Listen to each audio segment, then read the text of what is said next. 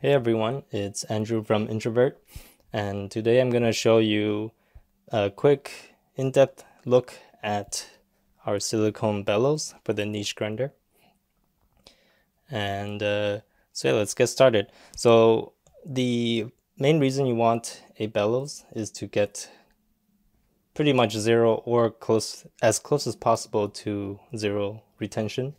And uh, I know this grinder is marketed as a zero retention grinder, but um, in most cases that doesn't really happen. And even if it does, you still get um, some grounds that are from the previous grind adding into your current grind, and that's how you get close to zero retention. Uh, but with the bellows, it changes that. And so here I'm holding the previous version. Uh, this was the 3D printed TPU version. Uh, it's flexible, it fits under the lid. It fits perfectly uh, and it's designed for this grinder. Um, but the issue is that it's a little stiff and it doesn't really bounce back to exactly its shape if you if you uh, crunch it like this. But who, who really does that anyway? But uh, yeah, the the evolved version, which is in silicone, goes back to its shape and it should be much more durable than the previous 3D printed version and it should last a lot longer. So we'll get down to a demo. Um, so right now I have a empty dosing cup. I'll just quickly pump the bellows just to show that don't really have anything inside the grinder. Um, I have here a pre-dose of 10.0 grams, you can see. And let's start grinding.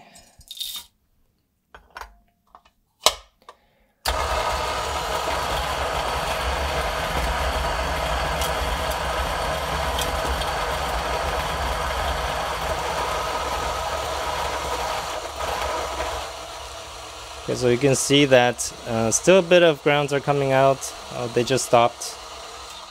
And we're at uh, grind 17, by the way. So there, we have 9.5, maybe 9.6 grams of coffee that came out. And uh, if we just take the bellows and quickly make a few pumps. And by the way, the best way to pump these bellows is to have a bit of a harder impact on the bellows. Uh, you don't have to press really hard and you shouldn't press slowly because that doesn't really do anything. So just, yeah, like a little harder tap on the top will uh, usually have the best results. Um, so right now we have 9.9 and so we're missing that, that 0.1. If you can do so safely, the best way is actually to run the grinder as you pump. So we'll do that now. You can see a bit, a little bit more coming out. Um, and there you go. We have 10.0. Uh, there's some caveats.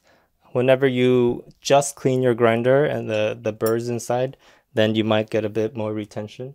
Or uh, if you just change the grind setting, let's say we're at 17 now, we'll go down to uh, this is 14 you might get a bit more uh, retention on that grind but then subsequent gr grinds you'll get you should be getting back to zero retention. So we'll clear this out.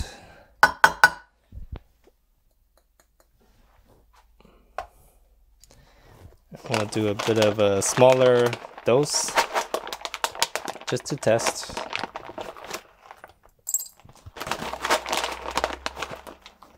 Let's try for 3.5. Okay. So I have here uh, grind 14. Maybe let's go down a bit more. Let's do a bit of a more extreme uh, extreme change. 13.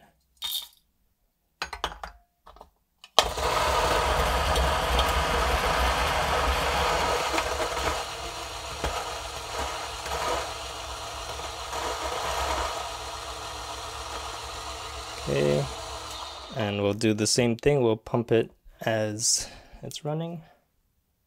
Actually, yeah, yeah, we'll do that.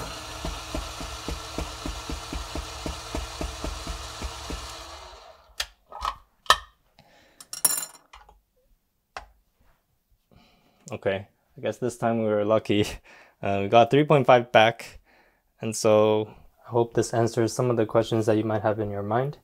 And if you're looking to get zero retention on your niche zero, then get our silicone bellows.